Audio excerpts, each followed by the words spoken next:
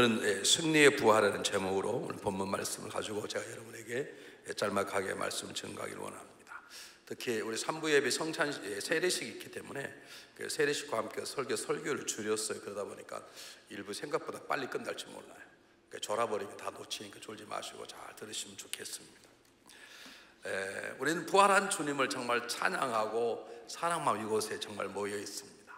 근데 가끔씩 한번 생각해 보면 만약에 예수 그리스도가 부활하지 않았더라면 그것이 거짓 꾸며낸 얘기라면 아마 우리 여러분 아시는 것처럼 이 땅에 교회가 벌써 없어졌을 것이고 정말 부활이 사실이 아니라면 그러면 저한테 예수 그리스도 부활을 얘기하는 저 같은 목사가 가장 거짓말장이고 가장 불안한 존재일 것입니다.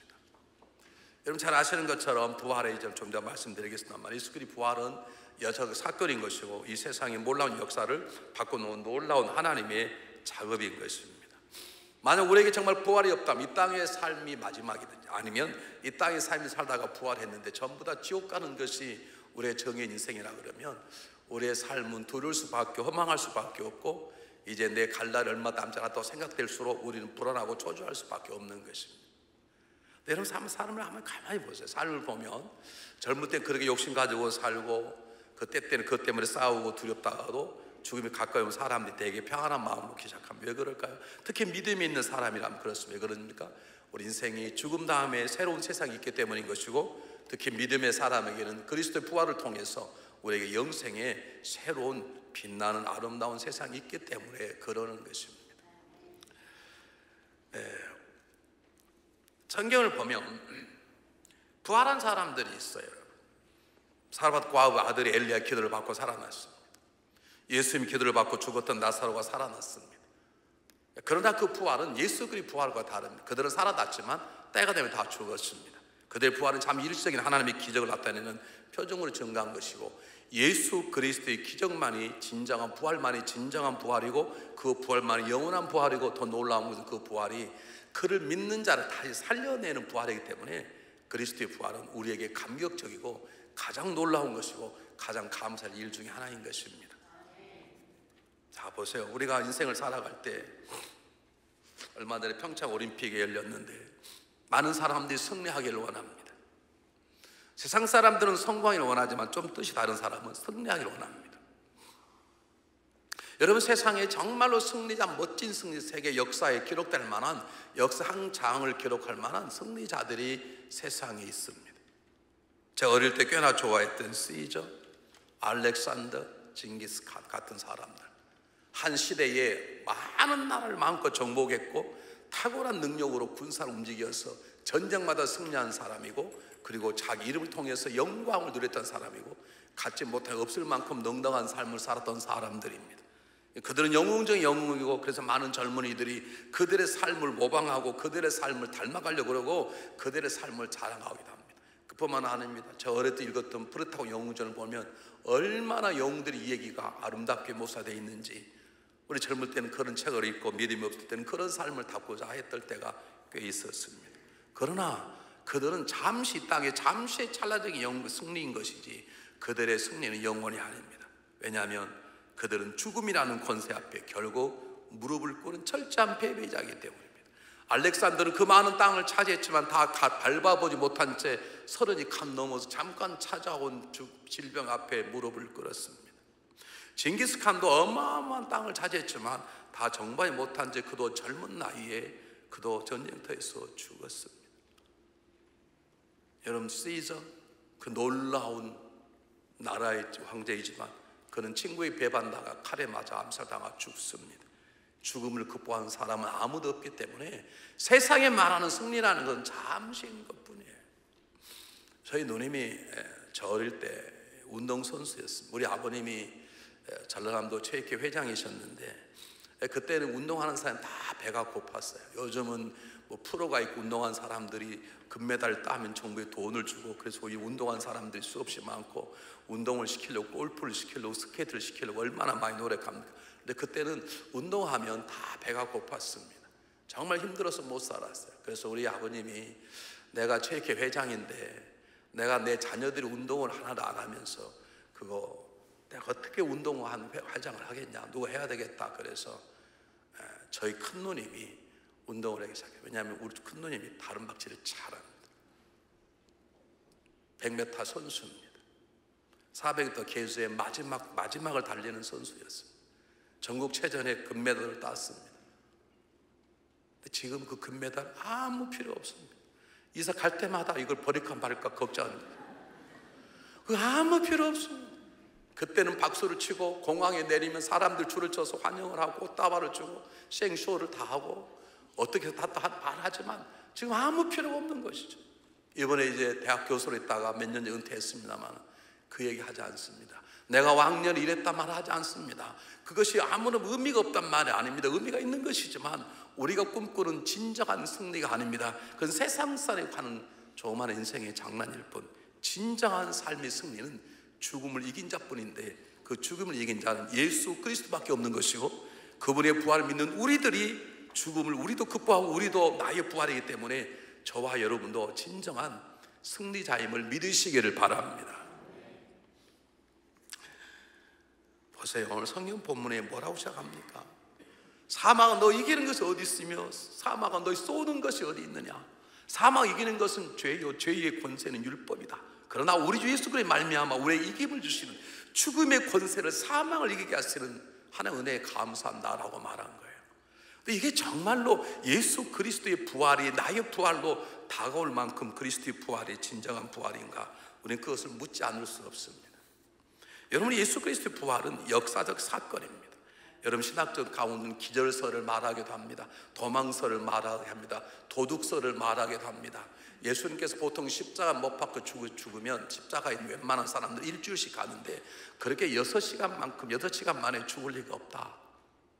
아마 예수님이 기절하신 걸 사람들이 잘 모르고 죽었다고 생각하고 무덤에 넣었는데 그가 도망갔다. 그게 도망설입니다. 두 번째 다 죽으신 걸 시체를 넣어놨는데 제자들이 그 시체를 훔쳐다가 예수님을 부활했다 그렇게 말하기도 합니다. 이런 말이 안 되는 것입니다. 왜요? 아니 살겠다고 도망친 제자들이 무슨 무슨 깡으로 죽어 있는 예수님을 시체를 가져다가 살아났다고 그래 거짓말 하겠습니까? 앞뒤가 말이 안 맞는 것이죠. 예수님은 정말 부활하신 것입니다. 어떻게 할 수 있느냐? 사도 바울의 가장 중요한 메시지가 부활하신 예수 그리스도이십니다. 그가 예수님을 안 만났는데 어떻게 부활한 예수님을 증가할 수 있고 부활한 예수님을 증가하다가 어떻게 목숨 바쳐 죽을 수 있습니까? 이게 말이 안 되는 것이에요. 베드로가 살겠다고 도망쳤다 어느 날 갑자기 베드로 예수 그리스도 이름으로 환자를 고치고 예수 이름으로 복음을 증가하다가 죽습니다. 그만 죽습니까? 그 아내도 죽고 다 죽습니다. 사랑하는 여러분, 아니 자기가 어떻게 거짓말 하다가 때도 때도 볼 수는 있지만 거짓말 하다가 고통스러운 죽음을 자처한 사람이 있을 수 없습니다. 사도 바울이 어떻게 이렇게 변했습니까? 사도 바울은 예수 믿는 사람을 잡아다가 가도 가도 넣었던 심지어는 예수 믿는 사람을 죽였다가 살인자 행악자입니다. 그가 어느 날 변해서 어떻게 예수의 부활을 증가하는 것입니까? 증가해서 그가 떼돈을 벌었다면 그럴 수 있습니다. 그가 높이 올랐다면 그럴 수 있습니다. 그러나 그는 그로 인해서 자기가 누렸던 모든 것들을 내려놓아야 했고 평안한 삶을 살아본 적도 없고 그는 고통스러운 길을 가야 됐고 그런 순교의 길을 가야만 했습니다. 근데 왜 그가 이렇게 했을까요? 그가 사도행전에서 얘기하는 것처럼 그는 예수님을 만난 게 틀림없습니다. 그가 담에서 예수를 만난 게 사실이라면 그 사실 예수님은 부활한 예수님이 틀림없습니다. 왜냐하면 부활한 다음에 일어난 사건이기 때문에 바울아 바울아 사울아 사울 불렀던 예수님 부활한 예수님이시고 그가 부활한 예수를 만난 그 순간에 그 인생이 진정으로 변화가 되게 된 것입니다. 나는 꿈에 예수를 만났어. 그와 예수 믿을 거야. 그것 때문에 부활이 증거되는 게 아니고 성경이 증거하는 것입니다. 성경의 사도들의 변화와 특별히 행악자의 변화를 통해서 그가 부활한 주를 만났다는 걸 빼면 사도 바울의 변화를 해명할 풀만한 방법이 없습니다.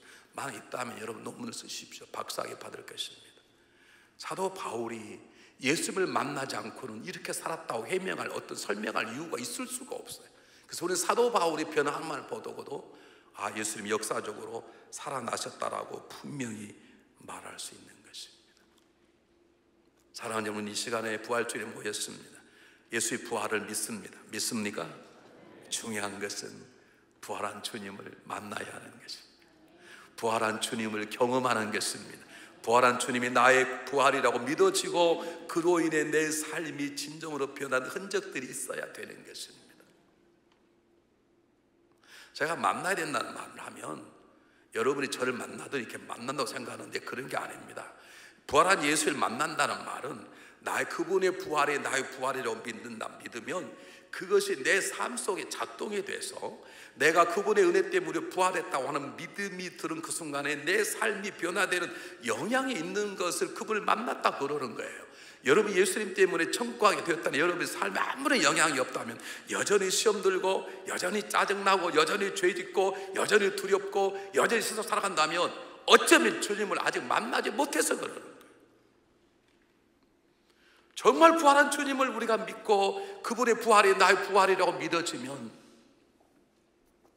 독일 모노 쾌테가 말했던 것처럼 인생은 부활하신 그리스도를 만나기 전까지 화려한 성공일지라도 그는 처량한 나그네에 불과하다라고 말했던 것처럼 우리 어쩌면 넘어지고 쓰러지고 죄 짓고 또 다시 죄 짓고 또 울고 불고 미워하고 상처 주고 상처받고 싶은 그런 삶을 살아가는 이유가 있다면 그것은 아직 부활한 주님을 믿기는 믿는데 그것이 나의 부활로 경험되지 않을 뿐만 아니라 그것이 부활한 주님을 경험하는 그 사건이 그 신화의 고백이 내 삶을 잡아 움직이는 작동이 되지 않는 것이에요. 여러분 부활할 주님을 믿습니까?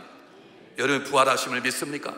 부활이란 말은 죽어서 영원히 사는 게 아니라 죽음을 건너뛰어서 천국 가서 하나님 앞에 그분을 뵙고 말로만 들었던 귀로만 들었던 그분을 찬양하고 예배하는 감격스러운 삶을 사는 것입니다.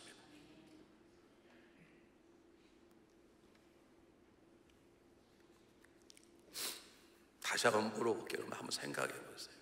나는 부활 신앙을 있기 때문에 내 삶이 이만큼은 변했다. 아직은 다는 아니지만 이렇게 변했다. 예전에 놓지 못해 이제 놓을 수 있었다. 내가 죽어 천국이 내 것을 믿기 때문에 나는 이런 걸 포기할 수 있었다. 나는 이제 부활신앙을 믿기 때문에 그것 때문에 상처받지 않는다. 나를 그렇지 않는다고 말할 수 있습니까? 아니, 여러분 안 그런 것 같아요.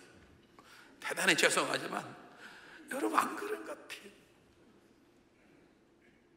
어찌 자를 거짓말하겠는가? 안 그런 말로는 부활을 얘기하고 부활할 주님을 꿈을 꾸지만 나에게 아무런 영향력이 없는 거예요. 천국이 내 것인데 나는 죽어도 사는 것이고 죽어도 성공하는 게 우리 것인데 우리 망해도 안 망하는 게 우리야. 이거 아멘 안 하시는 것 봐. 나는 망해도 안 망하는 거예요. 천국이 내 것인데 왜 망하는 거야? 전 무시했다고 상처받고 뭐라고 했다고 복수의 칼을 갈고. 그게 무슨 부활 신앙을 가지냐? 지가 잘못했다고 남을 욕하고. 왜 지가 잘못했고 남을 욕해?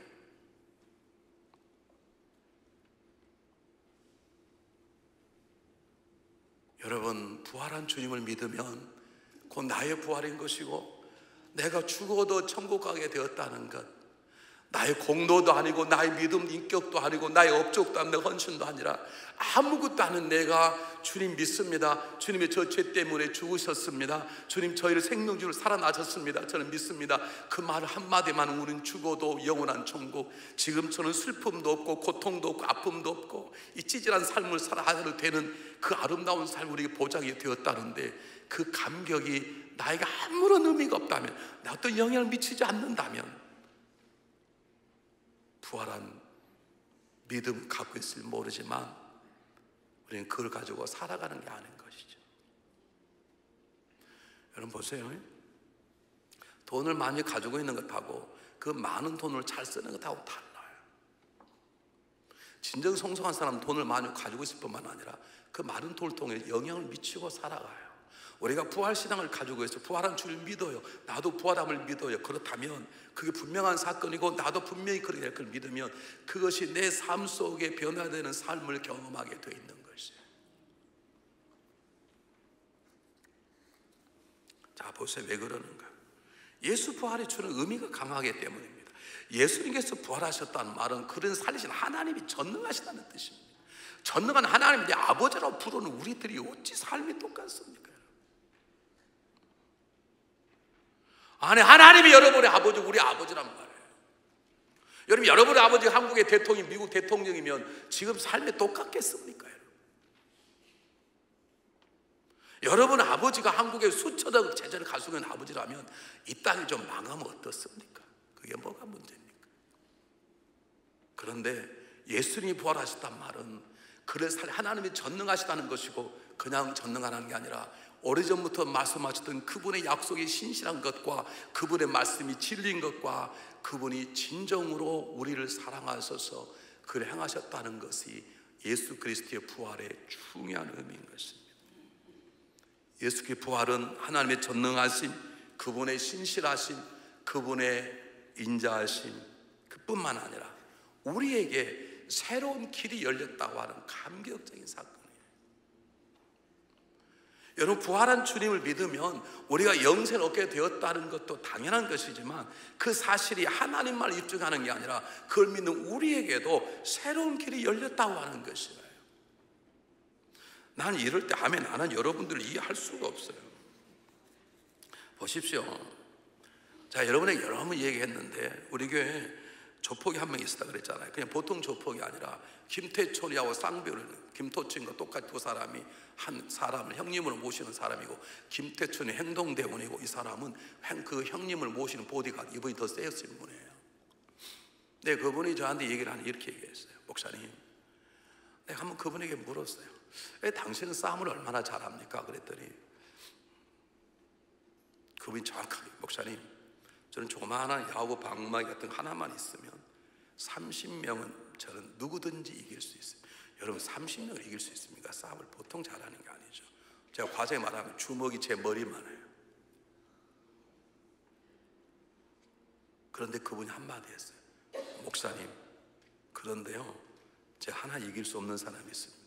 아이 당신보다 더 싸움 잘하는 사람이냐고 김태초가 더 싸움 잘하냐고 태천이 저하고 상대가 안 됩니다 지가 더 잘한다는 거죠 근데 어떤 사람이 이길 수 없는데요.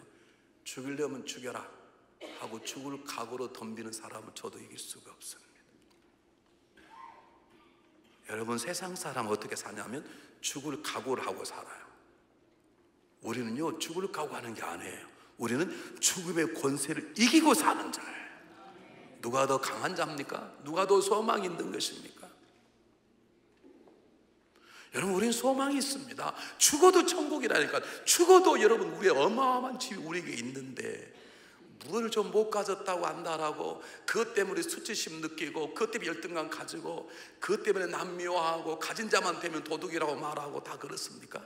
부자면 다 도둑입니까? 사도 바울이 이 진리를 깨달은 다음에 뭐라고 말합니까? 내게 능력 주시는 자 안에서 나는 일할수 있느니라.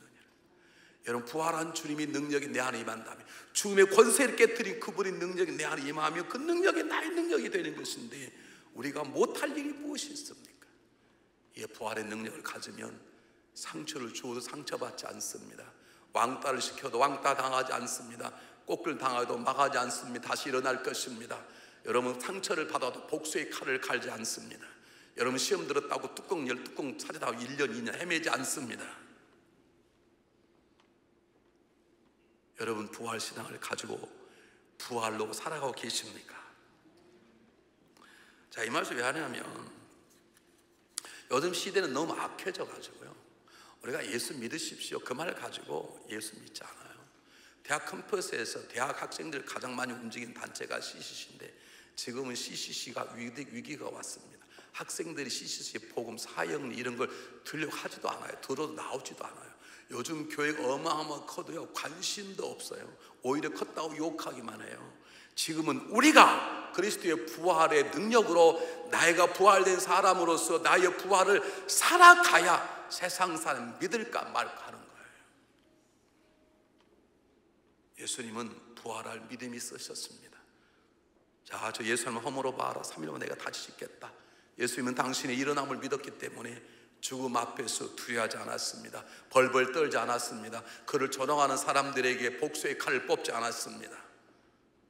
우리가 그 부활이 나에게도 적용이 된다면 우리는 가정 안에서 교회 안에서 세상 속에 상처받지 않습니다. 배반 당해도 배반하지 않습니다. 매를 맞아도 매를 대신 치지 않습니다. 미움을 받아도 미워하지 않습니다. 질투를 받아도 질투하지 않습니다. 제가 왜 똑같은 말을 계속 반복할까요? 아멘 안 하시지. 아멘 할 때까지. 2부 예배 안 해도 계속 할 거예요. 여러분, 부활을 가진 사람은 천국이 내 것인데 뭘 못 가졌다고 안다라고 뭘 더 가지려고 죄를 짓고 뭘 더 가지겠다 남을 거 뺏고 없다고 열등 가지고 쪽팔린다고 그러고 집이 없으면 어떻고 차가 없으면 어떻고 이름이 없으면 어떻습니까? 우리 이름이 생명로 기록되어 있고 천국이 내 것이고 우린 부활하고 승리할 것인데 뿐만 아니라 부활의 능력을 가지면 못할 일이 없는데 제가 오늘 부활 전함의 설교가 그것 아닙니까? 어떻게 베드로가 안진뱅이를 이렇게 세웁니까? 세울 이렇게 세우려 꿈도 꾸지 않았을 것입니다. 날마다 갔던 성전입니다. 그 날마다 봤던 안진뱅입니다. 돈 몇 푼 주면 되는 것입니다. 어떻게 뻔뻔하게 예수를 두 번씩 부인하고 세 번째 저주했던 베드로가 예수 이름으로 일어나 어떻게 뻔뻔할 수 있습니까? 뻔뻔할 수 있습니다. 부활의 신앙을 가지고 나도 부활한다고 믿으면 나 옛날에 쪽팔린 부끄러운 문제가 되지 않으면 영적 뻔뻔함으로 일어날 수 있습니다. 그리고 내 능력이 아니라 그분 이름으로 말할 수 있습니다. 너 옛날에 예수 했던 사람 아니냐? 그래 어때? 난 지금 예수 믿어. 그러면 되는 것입니다. 그게 못하니까 상처받고 수치심 가지고 열등감 가지고 쫄만 잘 되면 교만하고 조금 넘어지면 애리 배는 몸도 그냥 가자 끝까지 가고 그러는 것이죠. 우리는 전능한 하나님 믿을 뿐만 아니라 그분이 아들 통해서 부활케 하신 부활의 능력이 그를 믿는 우리 안에 있기 때문에 우리가 죽은 다음에 천국에 갈 뿐만 아니라 그 부활의 능력으로 우리도 안진뱅이 때 있던 베드로처럼 사람을 살려낼 수도 있고 이렇게 세울 수도 있고 주님의 이름으로 놀라운 일을 행할 수 있는 것입니다. 그것이 부활을 지키고 부활로 살아가는 삶의 가장 중요한 자인 것입니다. 오늘 마지막으로 얘기하고자 하는 것은 뭐냐면 사도 바울을 닮아보자는 것이 사도 바울의 가장 중요한 증거는 설교가 뭐 13편, 14편 학자마다 다르지만 편지를 썼는데 가장 핵심은 뭐냐면 예수 그리스도가 부활했다라고 하는 것입니다. 우리는 예수 믿고 나 구원받았다. 그런데 예수 믿고 사업이 잘 돼. 예수 믿고 내 자녀가 나왔어. 예수 믿고 내 질병이 나왔어. 그거 합니다. 여러분 그거 잘하는 것입니다. 근데 우리 입에서 예수님 예수님이 부활자야. 예수님이 부활하셨어. 너도 예수 믿어야 부활할 거야. 그런 말 잘하지 않습니다.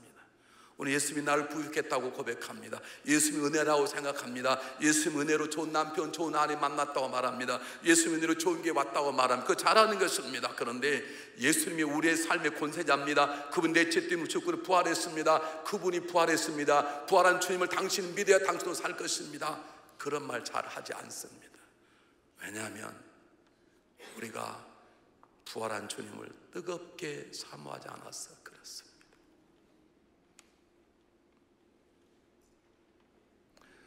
요즘 미국 교회의 특징이 뭐냐면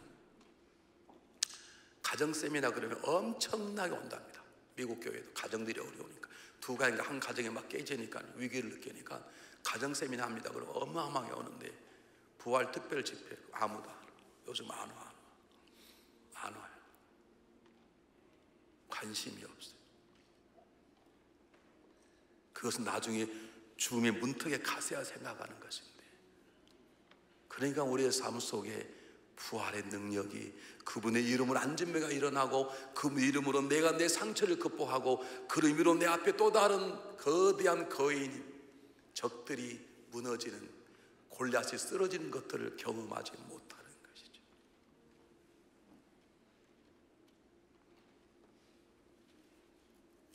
여러분 생각해 보십시오. 사람들이 베드로를 얼마나 욕했겠습니까? 사람들이 바울을 얼마나 욕해. 야, 니네들 약간 예수 모른다고 두 번씩 부인하고 세 번째 저지 니네들 무슨 예수를 얘기해. 야, 너 바울아, 너는 사람 죽였던 사람 아니냐? 넌 스테반이 돌에 맞아 죽을 때 더 때렸던 옷을 갖고 행악자 아니야? 근데 무슨 예수를 얘기해? 그렇다.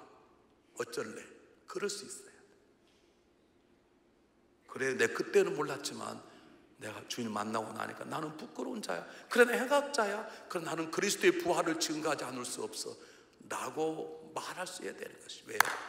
부활한 점을 뜨겁게 만나버린 사람은 그것이 삶의 가장 중요한 말함이고 증언이고 삶의 힘이 되는 것이죠. 우리는 예수 를 믿어서 천국 간다는 것보다 예수 믿어 사업이 잘 되고 예수 믿어 자녀 거기에 우리 미쳐 있어 지금. 여러분 그게 잘못됐다는 게 아니에요. 그걸 건너뛰어야 되는. 여러분 예수 믿어도 가난할 수 있습니다. 가난하면 어떻습니까? 예수 믿어도 내 자녀 좋은 대학 못 갈 수 있습니다. 그럼 어떻습니까? 아멘 한 명도 안 한 이유를 알아요. 그렇게 대가봐 아멘을 안 해요. 목사님이 속임수에 넘어가지 말자. 저때 아멘. 그러면 믿음 가지고 무슨 뭘 한다고 그랬어. 그런 믿음 가지고 세상을 어떻게 살아가려고 그러시냐. 예수 믿어 빨리 죽을 수 있습니다. 그럼 아멘이 안 나와. 큰일 나, 큰일 나. 그런 연약한 믿음 가지고 무슨 기도하고 뭘 하고 뭘 한다 그러시는 거예요. 우리 찬양단 성가대 있는데 성가 너무 잘해요. 너무 감사해요. 일부에 나오면 얼마나 힘드시겠어요. 그래서 원한다면 없앨 마음도 있어. 그 고생하느냐. 그러나 나는 고생이 좋습니다. 그럼 하려고 그러는데 성가 대원까지 잘 비교한 사람 써가지고요. 그냥 입만 벌리는 있어. 제가 오늘 목사 특성이 안 나갔어요. 노래가 안 나와요. 목이 이래가지고. 설교는 되는데 그래서 안 나갔어요. 와서 쇼만 할 수는 없잖아요. 여러분 믿는 게 쇼입니까? 기도하는 척 하는 것입니까? 성경하는 것이 뭡니까? 살아야 되는 거죠. 부활을 살아가야 되는 거죠. 부활로 살아가야 되는 것이죠. 언어가 바뀌고 관심이 바뀌고 부활한 주님을 베드로가 만나니까 사람이 달리 보이는 거예요. 안진뱅이 돈이 필요한 게 하나님 눈으로 그를 보니까 부활하신 주님의 눈으로 안진뱅이를 보니까 그에게 안진뱅이가 돈이 필요한 게 아니라 예수 그리스도가 필요한 거죠. 그의 예수 그리스도 이름을 선사하지 않는 그가 일어나 걷고 뛰고 들어가 성전이 증가하는 자가 되지 않습니까? 여러분 부활 신앙을 가진 자가 미워할 사람이 누굽니까? 사단 빼고 미워할 사람이 없습니다. 부활시는 갈릴 사람이 살아가지 못할 사람이 누구 있습니까? 사단 빼고는 살아가지 못할 사람이 없고 여러분 부활시는 가진 사람이 용서하지 못할 사람이 누가 있습니까? 사단 빼고는 다 용서할 수 있습니다. 못하는 건 아직 부활을 살아가지 못하니까. 여러분 죽음보다 더 큰 두려움은 없을 것입니다. 죽음보다 더 큰 슬픔도 없습니다. 근 우리 주님은 죽음을 건너 이기고 부활의 길을 여셨습니다. 천국 가는 길을 여셨습니다. 그를 믿는 우리들에게도 이 능력이 주어짐을 믿으시길 바랍니다. 그가 승리에 부활했기 때문에 저와 여러분도 이미 승리의 부활이 우리 안에 있는 걸 믿으시길 바랍니다. 그 믿음으로 살아가십시오. 그렇게 한 주님을 세상에 증가하는 여러분 되시기를 주님 이름으로 축복합니다. 기도하겠습니다.